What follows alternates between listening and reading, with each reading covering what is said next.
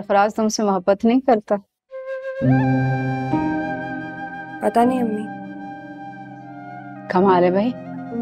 तुम बीवी हो उसकी तुम्हें नहीं पता तो किसको पता है कि तुम्हारा शौहर तुमसे मोहब्बत करता है या नहीं करता? सरफराज का गुस्सा ना उनकी हर चीज़ पर हावी रहता है।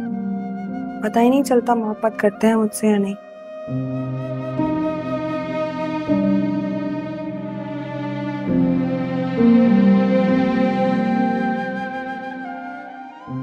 बेटी का रिश्ता करते वक्त माँ बाप तो सिर्फ़ उसके खानदान की शराफत ही देख सकते हैं।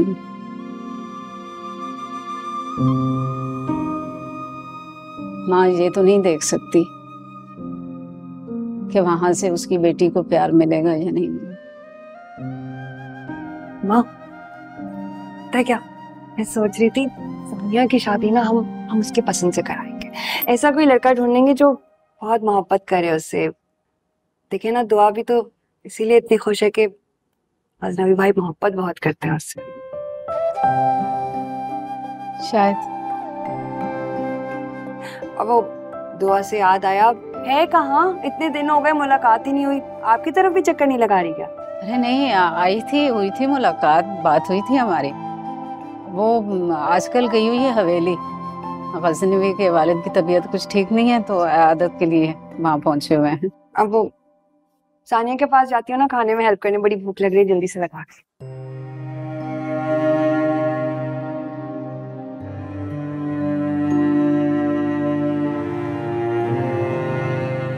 क्या मैं अपनी दोनों बहनों को ज़िंदगी गुजारते हुए नहीं देख रही?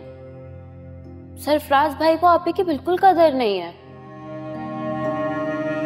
पैसा उनके पास है नहीं, लेकिन अकड़ खत्म होने का नाम ही नहीं लेती है। जबकि नौशेरवा भाई को देखें पैसा भी है और आप ही पे जान भी छिड़कते हैं। बेटे ये तो सब नसीब की बात है। दुआ के नसीब में होगा ये सब। अगर ऐसा है तो अम्मा मैं दुआ करती हूँ कि मेरा नसीब आप ही जैसा नहीं बच्चों जैसा हो।